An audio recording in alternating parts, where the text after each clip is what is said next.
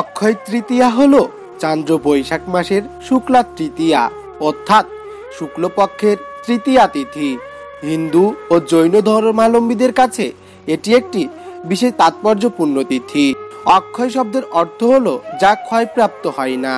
বৈদিক বিশ্বাস অনুসারে এই পবিত্র তিথিতে কোনো শুভ কার্য সম্পন্ন হলে তা অনন্তকাল অক্ষয় হয়ে থাকে।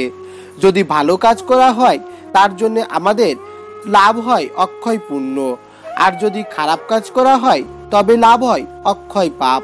তাই এদিন খুব সাবধানে প্রতিটি কাজ করা উচিত। খেয়াল রাখতে হয়, ভুলেও যেন কোনো খারাপ কাজ না হয়ে যায়। কখনো যেন কটুকতা না বেরোয় মুখ থেকে। কোনো কারণে যেন কারও ক্ষতি না করে ফেলি বা কারও মনে আঘাত দিয়ে না ফেলি। তাই এদিন যথাসম্ভব মৌন থাকা জরুরি।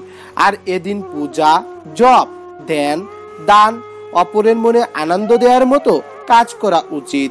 যেহেতু এই তৃতীয়ার সব কাজ অক্ষয় থাকে, তাই প্রতিটি পদক্ষেপ ফেলতে হয় সতর্কভাবে। এ দিনটা ভালোভাবে কাটানোর অর্থ সাধন জগতের অনেকটা পথ একদিনে চলে ফেলা। চলুন জেনে নেওয়া যাক দুই হাজার একুশ সালের অক্ষয় তৃতীয়ার বিস্তারিত সময়সূচি সম্পর্কে। নমস্কার বন্ধুরা স্বাগত জানাই নতুন আরেকটি ভিডিওতে।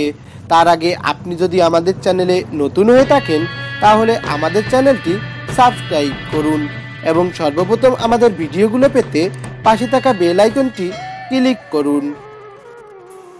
এখন চলুন জেনে নেওয়া যাক দুই হাজার একুশ সালের অক্ষয় তৃতীয়ার সময়সূচি সম্পর্কে। এবছর অক্ষয় তৃতীয়া পড়েছে চোদ্দই মে দুই হাজার একুশ। তৃতীয়া শুরু হবে চোদ্দই মে দুই হাজার একুশ সকাল পাঁচটা বেজে আটত্রিশ মিনিটে। তৃতীয়ার সমাপ্তি ঘটবে পনেরোই মে দুই হাজার একুশ সকাল সাতটা বেজে পনেরো মিনিটে। এখন চলুন জেনে নেওয়া যাক অক্ষয় তৃতীয়ার পূজা মুহূর্ত সম্পর্কে।